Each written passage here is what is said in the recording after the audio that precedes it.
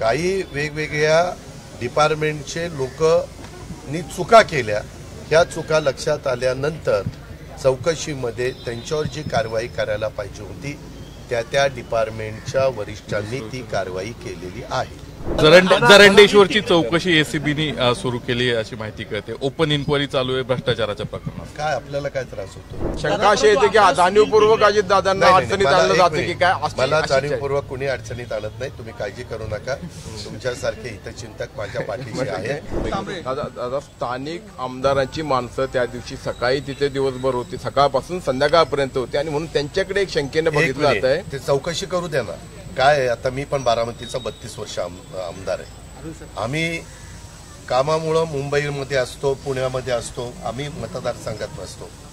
जे आमदार आहेत ते बहुतेक मतदारसंघात असतात शहरी भागातले पण आमदार मतदारसंघात असतात. त्यांच्या भागामध्ये जर एखादी गोष्ट घडली तर आमदाराला रात्री अपरात्री तिथं जावं लागतं. पाठीमागच्या काळामध्ये त्याच सुनील टिंगरेंच्या भागामध्ये एक स्लॅब का काहीतरी कोसळलं होतं तुम्हाला आठवत असेल. आणि त्याच्यामध्ये काही जण निष्पाप लोक मृत्युमुखी पडली.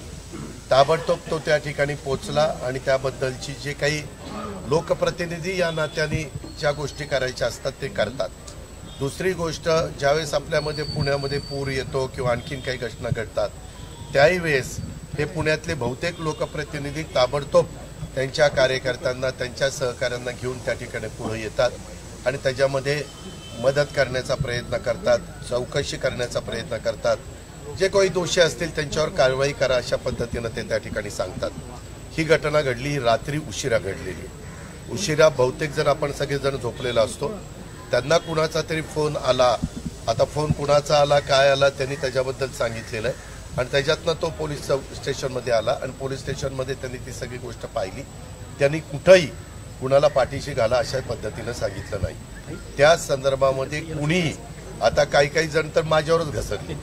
वास्तविक तुम्ही सगळे मीडिया मला ओळखता.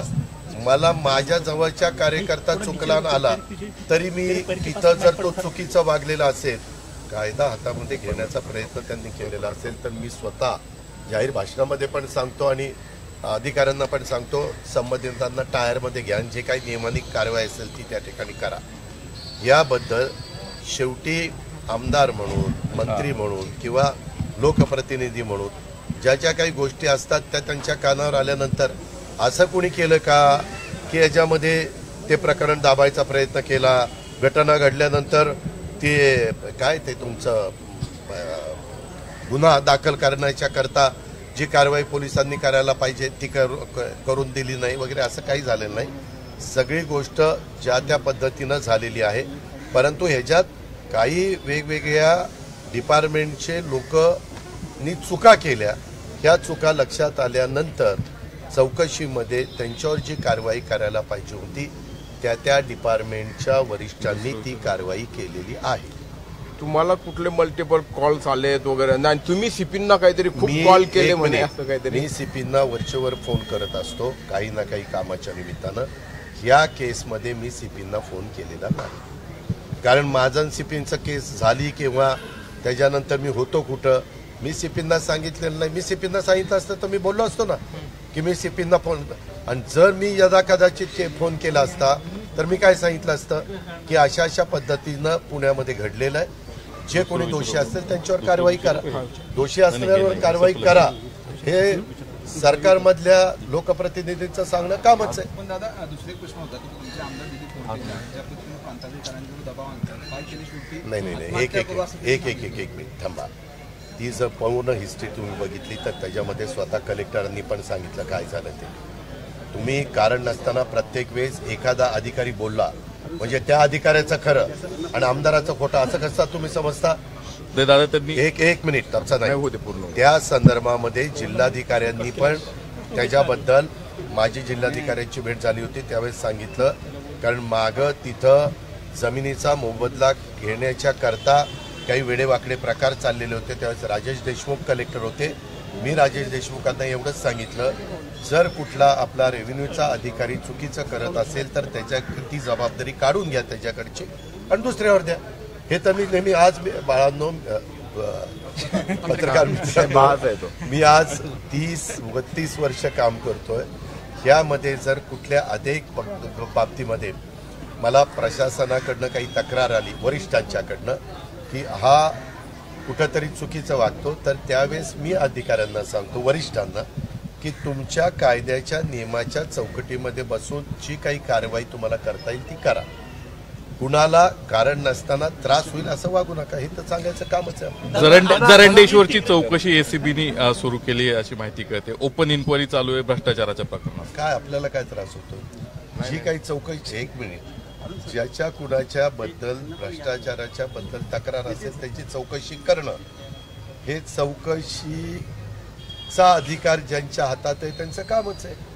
त्याच्यात वेगळं काय घडलं? ईडीनी चौकशी बंद केल्यानंतर जर एखाद्याने चौकशी बंद केली आणि नंतर दुसऱ्या कुठल्या डिपार्टमेंटला वाटलं की ही चौकशी केली पाहिजे तर केली पाहिजे. तुमचे असेल आणखीन कुणाची असेल आमची कुणाची असेल केलीच पाहिजे. शंका अशी येते की जाणीवपूर्वक अजित दादांना अडचणीत मला आणलं जातं की. काय? मला आहे. जाणीवपूर्वक कुणी अडचणीत आणत नाही तुम्ही काळजी करू नका. तुमच्यासारखे हितचिंतक माझ्या पाठीशी आहेत आणि मी माझ्या राजकीय जीवनात काम करत असताना कुठंही वेडवाकडं काम करत नाही. त्याच्यामुळे मी निर्धास्त असतो. सुनील सुनील तटकरे म्हटलेत की शरदचंद्र पवार गट मला त्याच्यातलं. काही माहिती नाही. मी तुम्ही कोणतरी बोललंय आणि म्हणून याच्याबद्दल तुमचं काय मत आहे जी मला माहिती. आता अरे बाबा मला माहिती नाही म्हणल्यानंतर मी काय करू? मी त्यांच्या प्रांताध्यक्षाच्या वरचा आहे तरी मला माहिती नाही. मी राष्ट्रीय अध्यक्ष आहे. आणि दुसरी गोष्ट मला आत्ता जे काही माहिती होतं तेवढं मी सांगितलं. तरी देखील कधी कधी आम्हालाही माहीत वाईट वाटतं. आता मी गाडीतनं उतरतोय. कारण कोणतरी मीडियाची एक व्यक्ती. दादा बोला. अगं थांब ना. ज्याचं काम आहे नऊ वाजता उद्घाटन आहे. बोर्ड लागलेला आहे. त्यांची सगळी लोक आलेली आहेत महिला आलेल्या आहेत. त्याच्यानंतर मी तुम्हाला बोलू दे. काय एवढे? पळून नाही चाललो सगळ्याची उत्तरं. देतो. आपलं काही आपण चुकीचं केलेलं नाही त्याच्यावर काही घाबरायचं कारण नाही. त्याकरता मी ठरवलेलं होतं खाली आल्यानंतर तुमच्याशी बोलायचं आणि त्याच्यातनं पुढे जायचं.